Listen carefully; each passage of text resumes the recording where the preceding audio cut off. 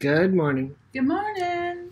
This is Russ and Kitty Walden with Father's Heart Ministry, and this is the Morning Light daily Bible study and expositional Bible study where we go through the scriptures chapter by chapter. And after some years now, we are in First Timothy chapter 3. I want to remind you that while we are in the process of publishing these commentaries on, and they'll be available on my author page on Amazon, along with the other books that I, excuse me, that I have there.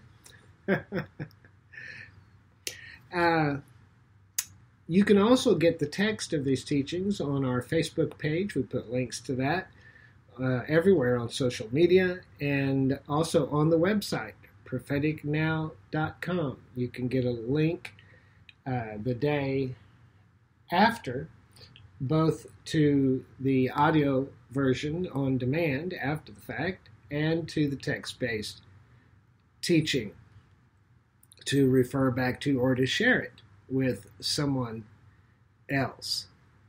First Timothy chapter 3 Is your church in good order.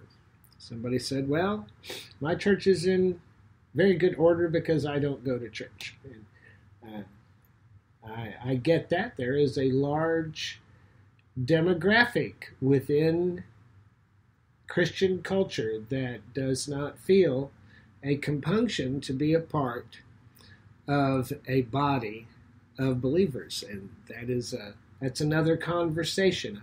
I think we need to remember that Jesus said people are withdrawing from traditional church settings. It's because they feel they that setting does not reflect uh, the meeting of their needs spiritually, and that was a common problem in Jesus' time. Uh, the ministry of John the Baptist was built upon a demographic that uh, we could call the out of temple demographic, or those who uh, just, the scripture says, they waited on the consolation of Israel. And they were longing for something other than what was being demonstrated in their prevailing religious system. And, and uh, they, those people were affirmed more than I think uh, uh, those with a more traditional perspective would have been comfortable with. But Jesus did make this statement to that people, to those out of the box people. He said, Unless your righteousness exceeds that of the scribes and Pharisees, you will in no wise enter heaven. Mm-hmm. So that means if you are withdrawing from the prevailing religious system, you're doing so to become more connected and not less to the body of Christ. And I would say it would not be an exaggeration that universally that is not so. Uh, in the out of church demographic, in the quote unquote church without walls, as some people call it, or the church in exile, as others have called it, those that feel that their spiritual sensitivities are so acute that they cannot afflict themselves by being a part of the brick and mortar church or a traditional church setting. Uh, I, I won't gainsay your your convictions about that, but I will say to you, remind you of what Jesus said.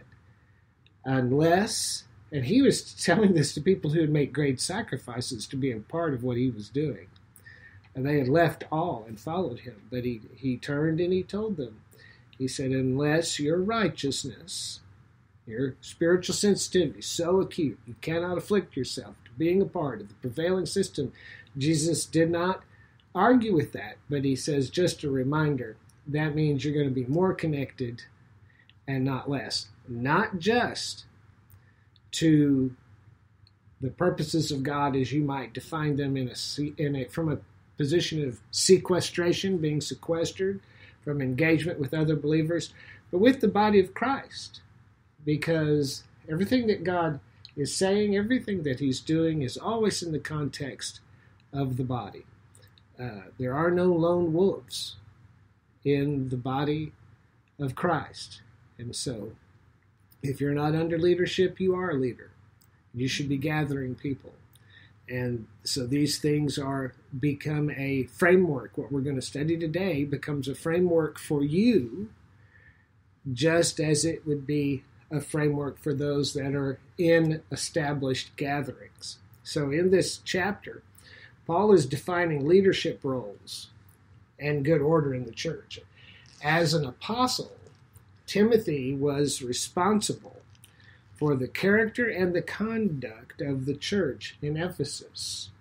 And he was not a permanent installed leader in the church in Ephesus. He was there on a short term assign- on assignment, uh, a, a temporary duty assignment, as they call it in the military. And we don't have that today. Can you can you picture that somebody coming in who is not an established leader in your church for the singular purpose of bringing good order? And in some areas that tend to get a little bit personal, that in in areas where existing leaders, where permanent leaders in the body may uh, have uh, felt that was a little bit intrusive. Mm-hmm. So uh, let's read the chapter, uh, the entire chapter. I believe it's 15 verses, and then we will okay. discuss it further. Sure. 1 Timothy 3 1. This is a true saying. If a man desire the office of a bishop, he desireth a good work.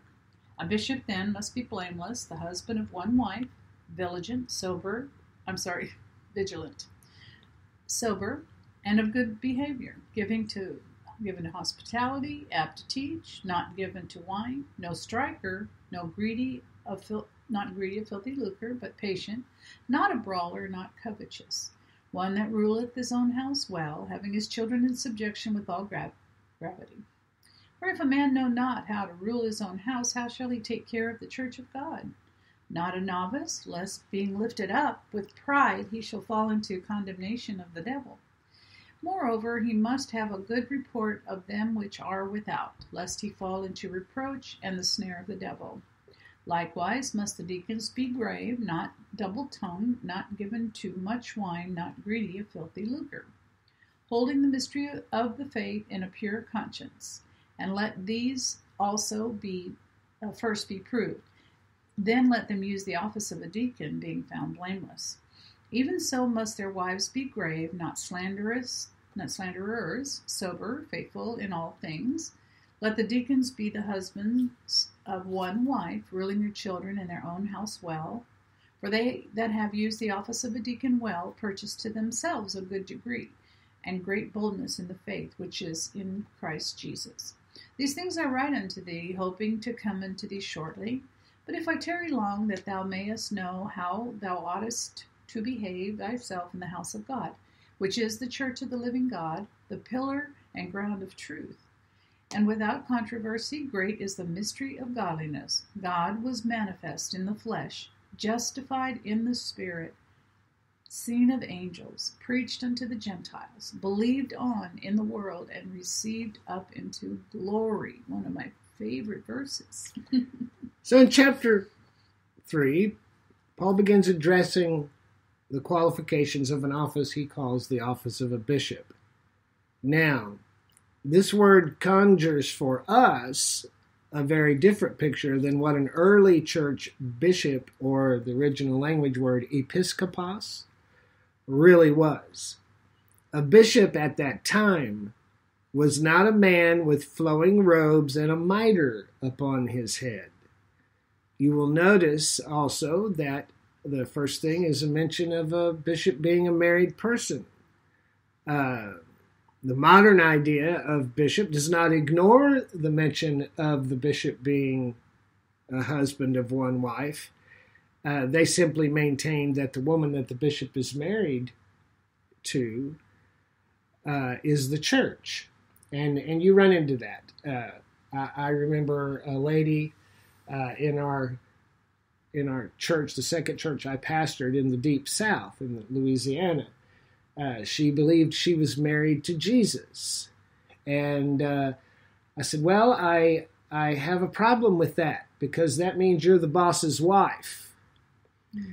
And she conducted herself in just that way. She took a position of uh, presumptive higher authority, of moral authority over everything that happened in the church, because after all, she was married to Jesus. Goodness. Same thing with pastors. You'd think it's it'd be something unique to Catholicism of a leader seeing themselves as married to the church, but I know in pastoral culture, uh, many pastors see themselves, and, and, I've heard it commonly expressed, although you'll never hear it. Uh, I hear it commonly expressed that the, the pastor, in essence, sees his relationship to the church as a body as a form of uh, marriage. And, and that, quite frankly, brings problems with in his family. Brings problems. If there's one thing that uh, one of the most denigrated, despised positions in the church, it's that of being the pastor's wife. Why? Because she's 2nd Mm-hmm. She's second to the church. She's second to the needs of the church. Uh, because after all, uh, he's a bishop. He's married to the church. Well, no, he's not. And we could just have a real long conversation about that. Uh, so in verse 1, I like what Paul says. He says, If a man desires the office of a bishop, uh, and people like to today, well, I don't want to be title conscious. I'm not a I'm not a pastor and elder, I'm just a lead facilitator. Well, they're they are denying, they're weakening, they're causing something to be anemic that Paul says very plainly. Look, this is an office, and you need to buck up and take your responsibilities. Mm-hmm. That's like in, in my in my ministry. Uh, I am a prophet. That's what I am. And there are people who will say, Oh, you don't need to be title conscious, but that same person that tells me not to be title conscious requires people to call him pastor. And we don't think anything of call so well we believe in prophets, do you now? Well, who do you call a prophet? You call your pastor pastor. Well, hello, pastor. Uh, pastor so and so. And many pastors, you know, they have they have their parking spot, and it says pastor. Can you imagine having five parking spots? Apostle, prophet, evangelist, pastor, teacher. Yes. Oh, that's ridiculous. well, if it's a foregone conclusion that we call the pastor pastor, Come on now. then uh, if we're not acknowledging prophetic ministry and the other ministries as well, it's because they're not accepted. We functionally do not believe in them, we don't acknowledge them. And, and Paul goes on, he, he's not criticizing someone for wanting to do that. Now, you get that a lot because the idea is there's only one pastor, and so if somebody has a desire to be in leadership, he's told he's carnal, he's worldly, he's he's just vying for jockeying for a position. Why? Because he's threatening the job description of the person who's sitting in the catbird seat in the pastor's office. Mm-hmm. And so we've made it an ungodly thing. Listen, ambition in holy things is not evil. Now, the whole idea of, from a modern perspective, uh, of serving as an elder or a, a, bishop is very different from what was done in the early church. They saw a bishop would be what we would call an elder.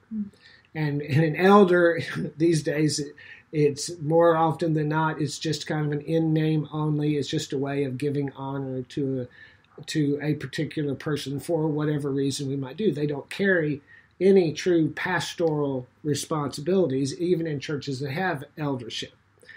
Uh, and but back in that day, uh, a bishop was an elder in a college of elders, in a group of elders. They had plural leadership. They had no concept of one man rule in a church. Mm-hmm. They were a group of elders, and they served a citywide church.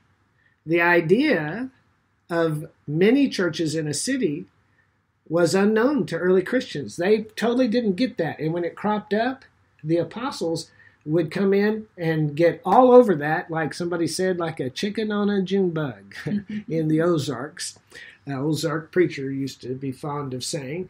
Uh, they wouldn't put up with that. They would militate against that thinking of many churches in a city because they saw there was one church. And if somebody tried to establish one man dominance in a ministry, they would say he's desiring to have preeminence among the brethren, shut him down.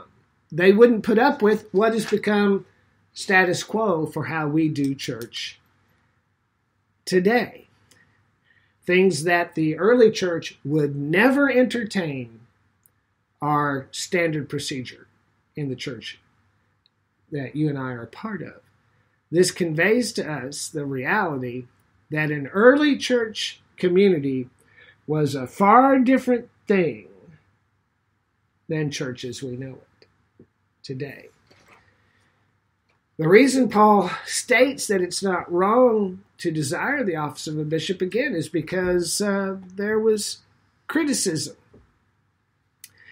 uh, that to be ambitious was a wrong thing. But again, ambition in holy things and in the service of God and in the Christian community, it's not wrong. But there are qualifications. Uh, are you listening to me? A bishop is to be blameless. Now, you know, uh,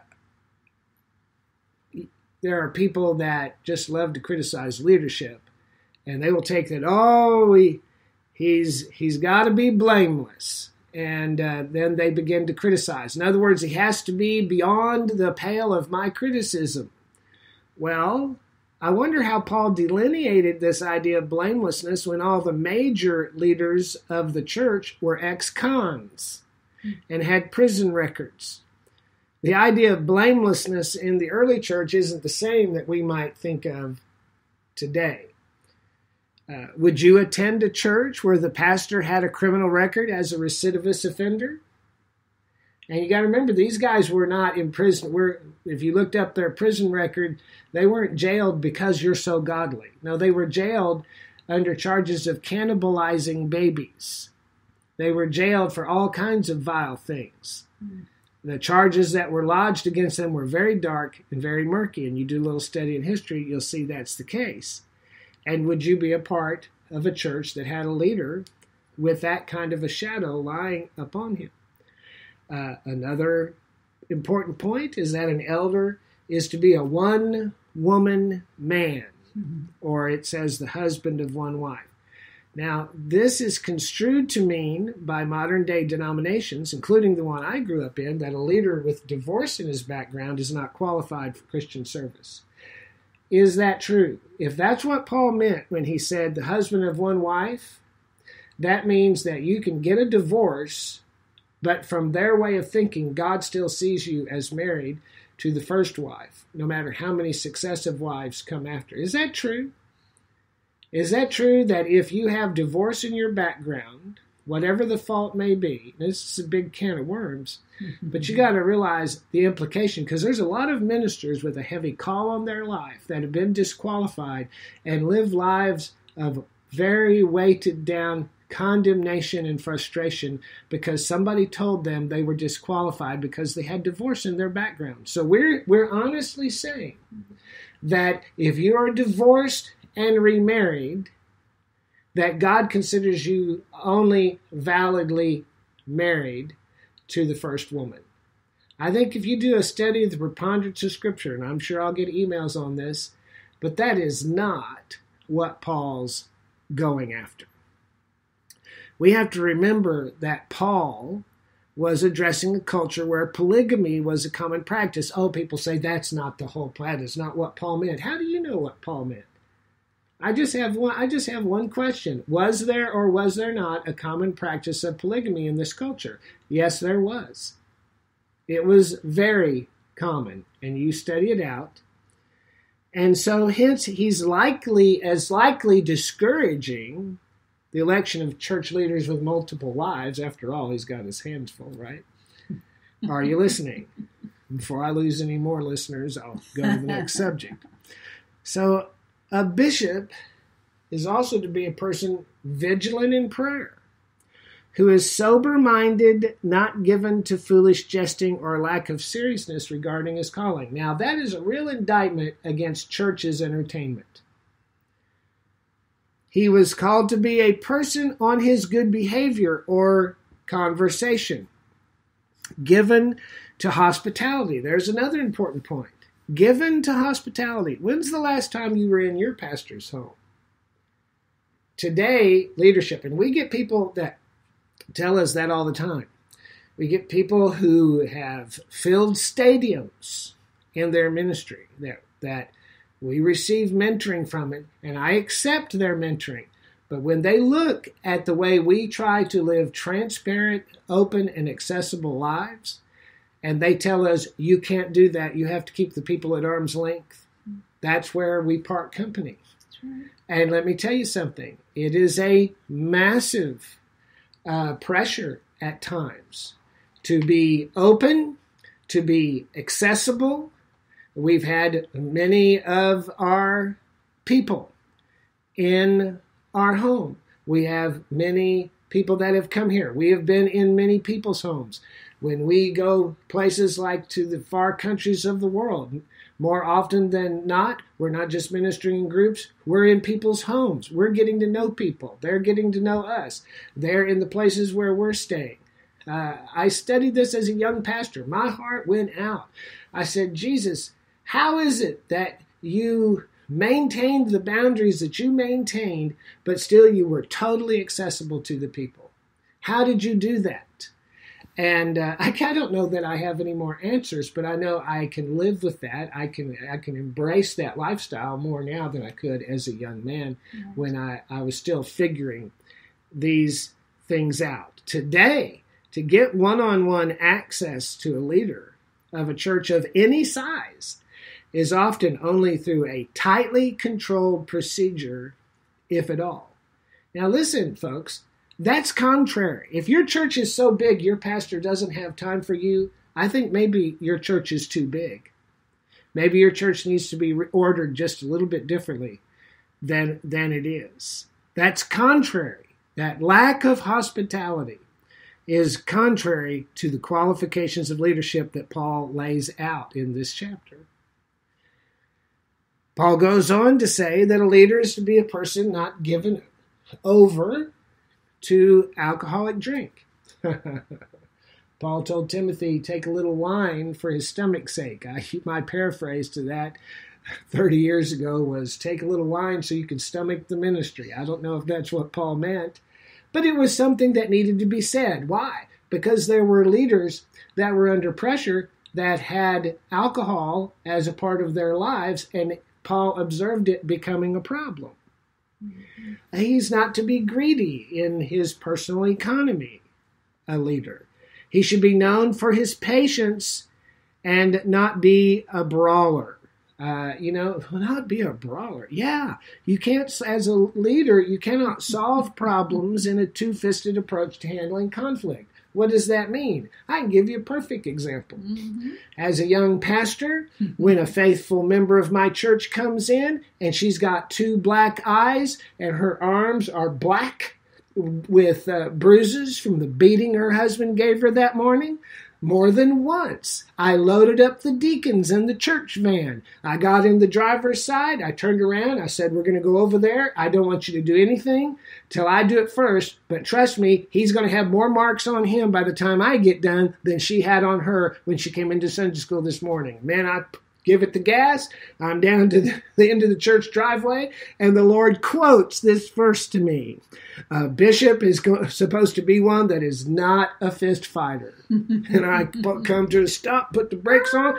I can't do nothing in this house because I don't have permission to solve problems in a two-fisted manner. That's right. And if you are a pastor worth your salt, you know exactly what I'm talking about. Mm-hmm. a leader is supposed to rule his own house well, with children that are in subjection in a well ordered home life. Now, that can be a cudgel to condemn a leader, beat a leader over the head, but it is a principle that how a leader manages his or her home life is a reflection of their character as leaders. How many, you know, there, there's something wrong when the pastor's kids are the most recalcitrant children in the church. Mm-hmm.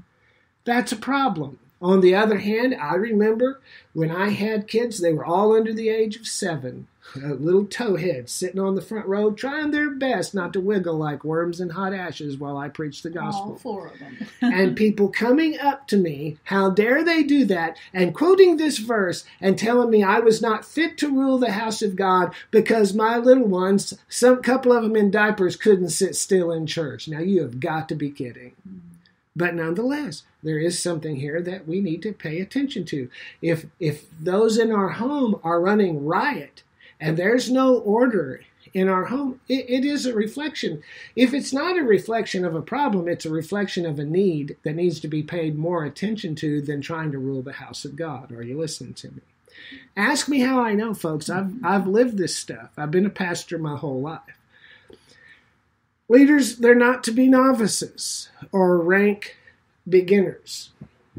Now, that's not how the modern church conducts itself. Today, what happens in today's setting? You get a new convert. What's the first thing you do? You, you, they sign the decision card. You get them baptized. They get through the new converts class. And the next thing you do, what position of responsibility are we going to give this person? Why do we do that? Because it's a way of cementing them into their place in the life of the congregation. Many young believers have been scandalized by this unhealthy practice, taking on more responsibility than they're spiritually prepared for. Just because a person is charismatic, talented, and gifted in handling people doesn't mean they're qualified to serve in leadership in the church. Mm-hmm. Now, so who is qualified? I'll give you an idea. Elder means older. Are you listening? By definition, the early church idea of eldership was just that older people in the faith with the wisdom and experience. We say, oh, he's got to be called and anointed. You need to realize something. If you study 1 Corinthians 14, you will see that the anointing flowing in the church came from the entire body, not just one person. We're all called to move in the anointing. We need to honor our elders, whether they have charismatic delivery of what we consider an anointed message, and sometimes we don't know the difference between charisma and anointing. Are you listening?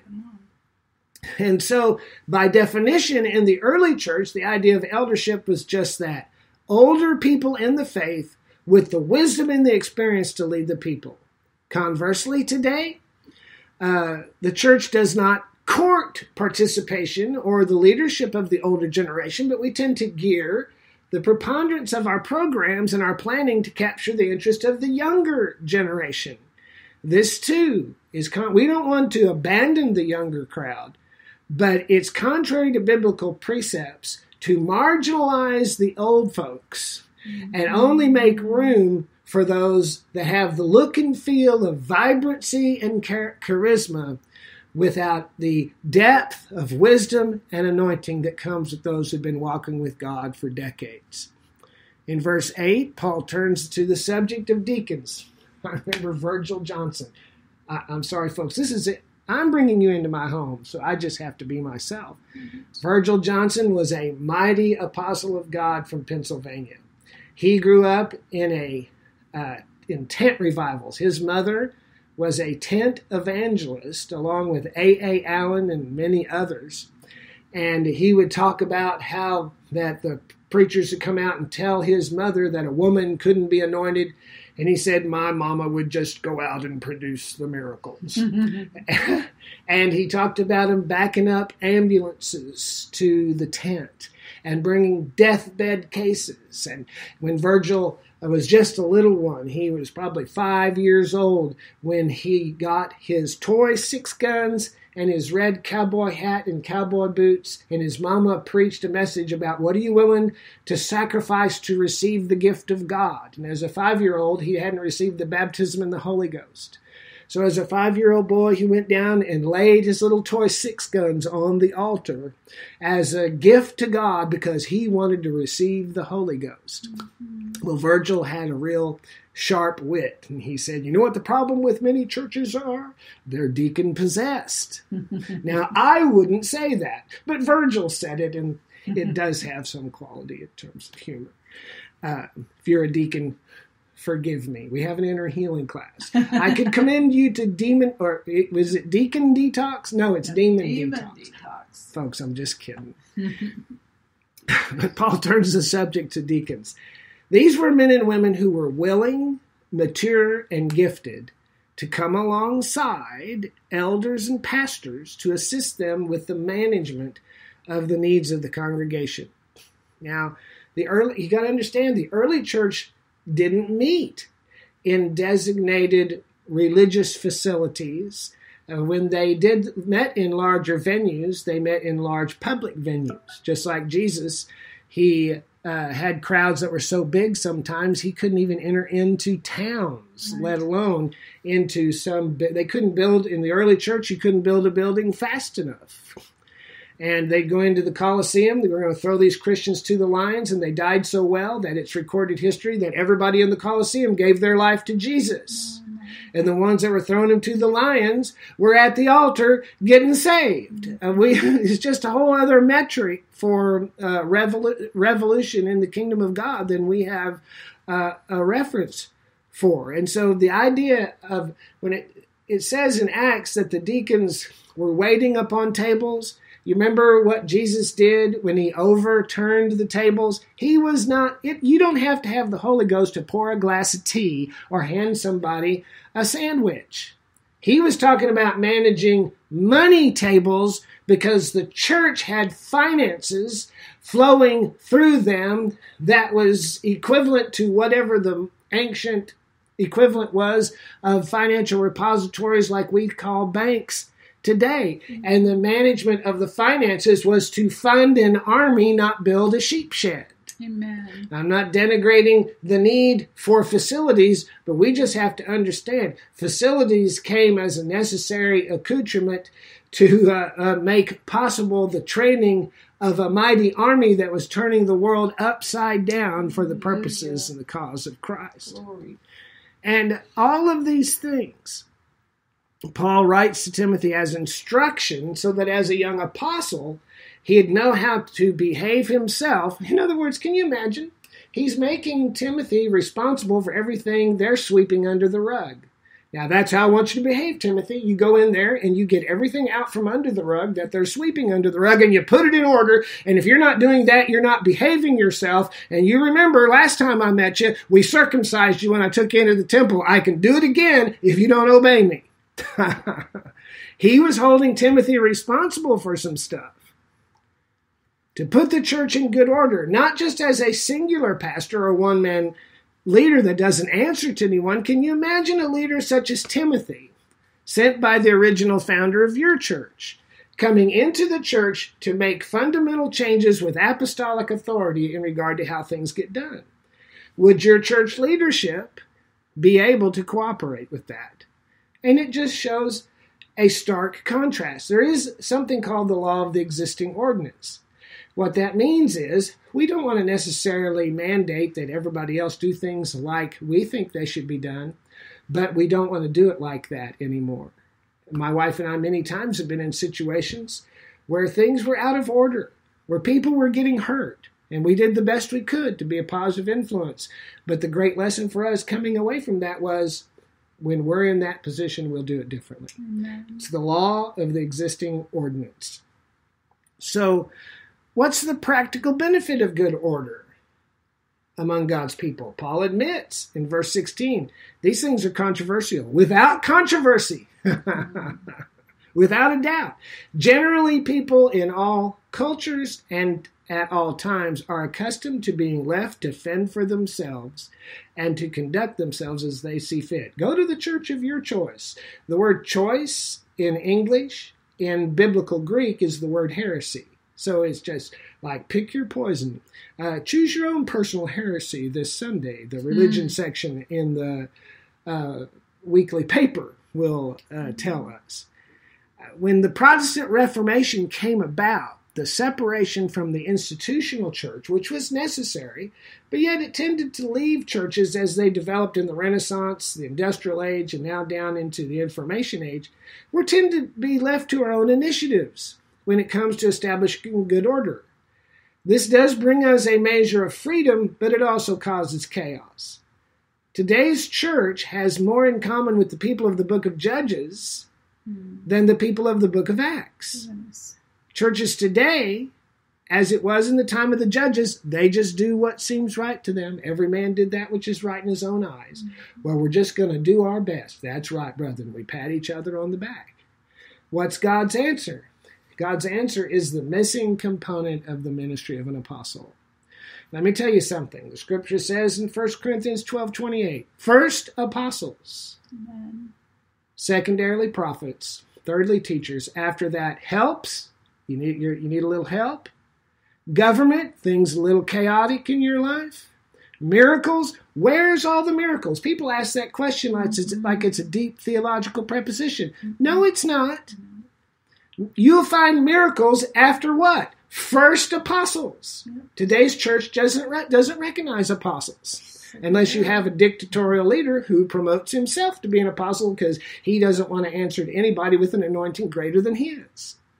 First apostles, secondarily prophets. I believe it was Rick Joyner who said, You'll never see rebellion in the church than when God requires the prophets to defer to the apostles. Mm-hmm. As for me, I delight as a prophet to defer. There is a deferential anointing in which I experience a greater glory on my life and eh, on my physical body, Yes. stronger than anything else than when I'm in the presence of God ordained, validated apostolic authority. Mm-hmm. Because there's something coming out of me that says, Behold the man, just like John, the quintessential prophet, deferred to Jesus, the apostle and high priest of our faith, to bring order. Who's the apostle in your life? Who's the apostle in your church? Those questions are more than just theological oddities. They're becoming more and more a focus because, as somebody made a statement, the first to be lost is the last to be restored. Amen. The apostles disappeared first from history, then prophets, then teachers, and then we were in the Dark Ages. And then in the 1970s, all of a sudden, all the churches renamed themselves teaching centers because in the 1970s, the charismatic renewal, God restored teachers to the body of Christ. And then in the 1980s, David Wilkerson got up and declared, I am a prophet. And then the very next day repudiated it that it was a bell that couldn't be unrung. Mm-hmm. David Wilkerson single handedly restored the office of a prophet to the body of Christ. What comes after that? Apostles. But you know what? God uses the prophet. The prophet has to stop thinking of himself as an end in himself. Uh, the prophet has to stop promoting himself into apostolic ministry. Well, can't a prophet be an apostle? Yes, he can. That's how Paul became an apostle. You'll read in Acts 13 that the prophets and the teachers, they didn't have any apostles. The prophets and the teachers, Acts 13:1, were ministering to the Holy Ghost, and the Holy Ghost said, Separate me, Barnabas, and Saul. So we need a God ordained, vetted, validated apostolic ministry coming forth in our midst that the church cannot ignore and the world cannot marginalize, and they will confront nations. And if the apostles in that day could bring the despotism and the debauchery of Rome to its knees at the foot of the cross, let me tell you something Nancy Pelosi or anybody else you want to mention is no challenge to the apostolic authority God's raising up in our nation. Amen. Amen. So, Father, we thank you for apostles. We thank you for Apostle Don Madison. We thank you for Apostle Ricardo Watson. We thank you for Apostle Warren Hunter. We thank you for apostles who are not just apostles in name only. We thank you for apostles who have that anointing to know what the seven thunders uttered and to bring the fire of God into our culture to change things, Lord. We're looking for it. We're embracing it. We're opening ourselves up to it. Help us to identify and not cause the young Timothys in our midst to lose sleep because we're giving them such a hard time. Help us, Father, to identify how to how to see and how to connect to apostolic authority in such a way that we are a part of the solution and not part of the problem. In Jesus' name. Amen. Amen.